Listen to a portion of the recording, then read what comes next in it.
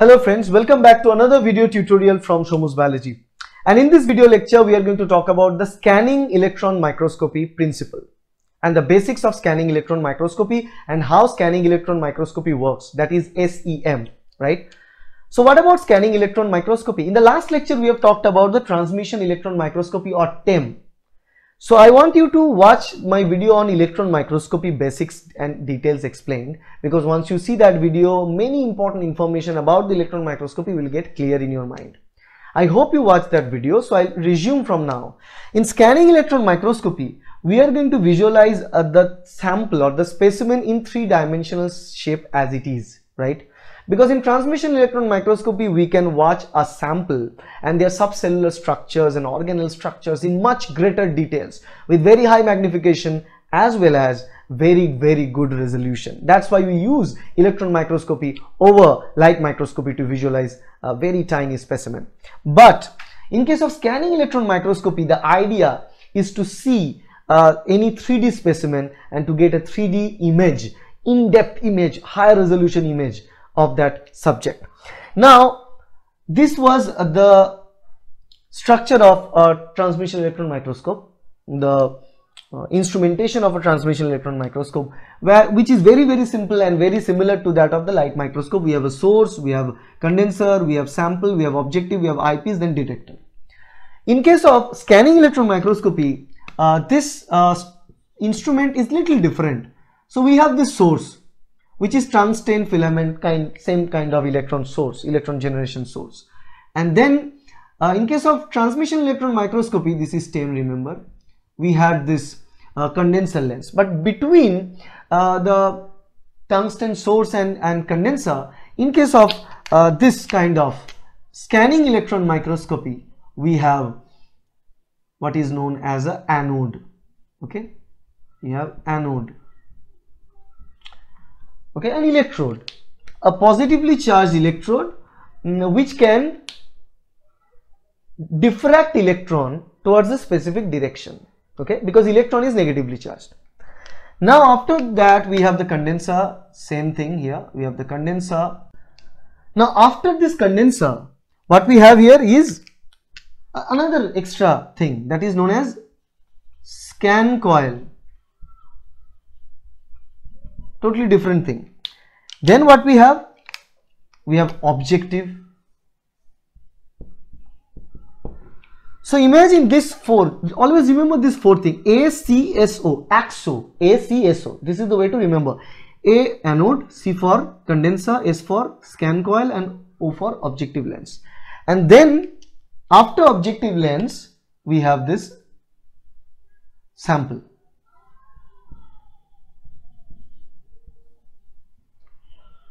Because right after the electron hits the sample, the scattered electrons will be detected by the detector. Okay? So now let's look at the working principle of scanning electron microscopy.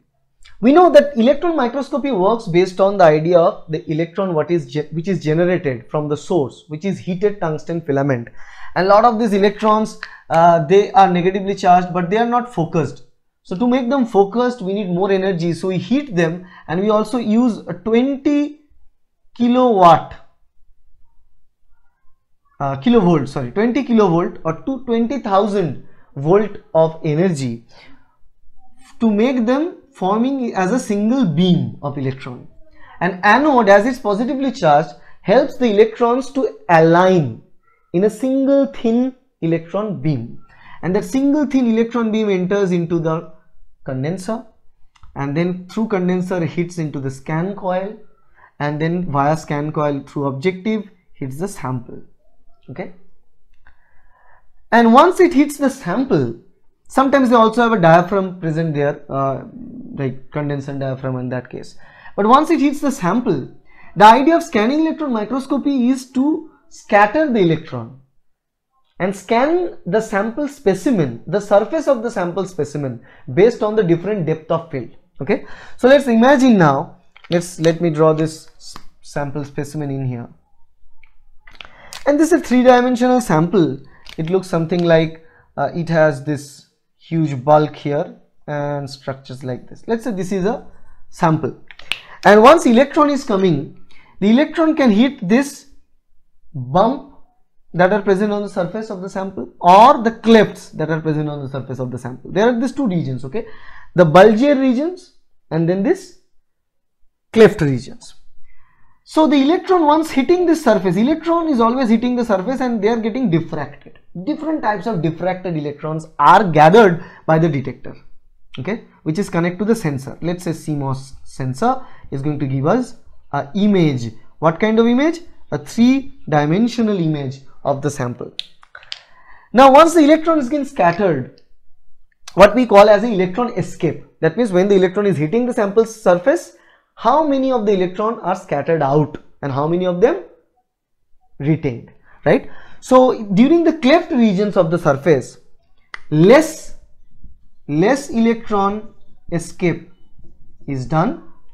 And where the electron uh, electron hitting the bulger ring. Bulger places of the sample. Then what we call it?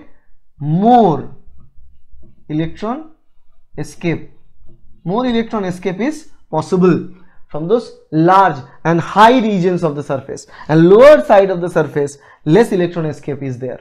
So as a result of this high and low electron escape a differential image can be captured by the CMOS sensor and projected as a three-dimensional image the image that is projecting the presence of the different surface component of the specimen.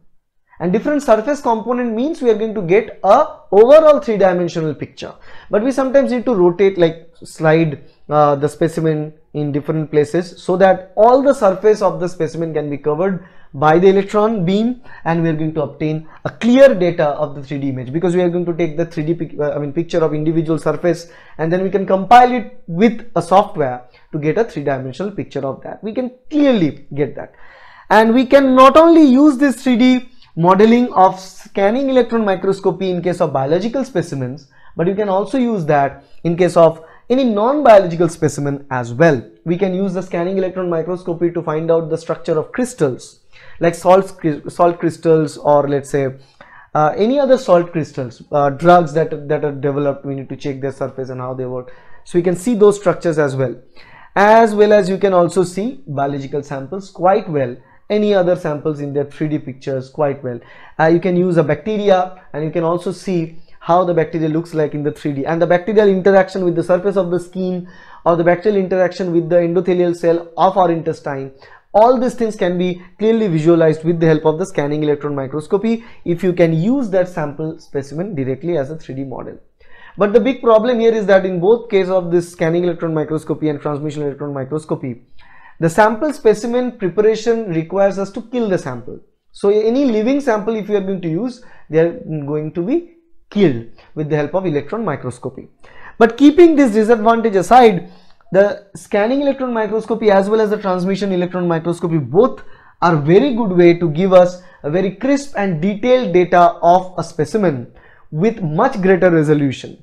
But the use of these two types of electron microscopy are quite different. While in transmission electron microscopy we want to see a detailed magnified image and much resol resolved image of the specimen. But in case of scanning electron microscopy we are going to stick to the three-dimensional picture of the sample specimen as it is. But in both these cases we use the similar type of tungsten filament to, to radiate the electron to, to produce the electron due to the addition of the heat. And then we use elect like a lot of voltage 20000 kilovolt 20000 volt or 20 kilovolt of energy to focus this electron sometimes we use anode like in scanning electron microscope we use anode to arrange the electron as a beam to focus it through the scanning coil and ultimately reach the sample specimen and it can penetrate the sample specimen at different micron level. This is another big advantage of electron microscopy because in this electron microscopy uh, the sample as you can see that uh, if the electron is moving inside of the sample it needs to move much depth here to receive the different places this place but in this case need to invade on a few uh, micron. But this electron beam can reach different micron of depth to reach the different portions of the sample's body to capture images but give us a better three-dimensional picture. So that's all about the scanning electron microscopy. I believe you understand the process. If you like this video, please hit the like button, share this video with your friends and subscribe to our channel to get more and more videos like that. If you don't like the video, please hit the dislike button. But please watch the complete series of microscopy lectures because it's going to help you immensely for the preparation of biophysics chapters. So that's all about scanning electron microscopy. See you in the next video.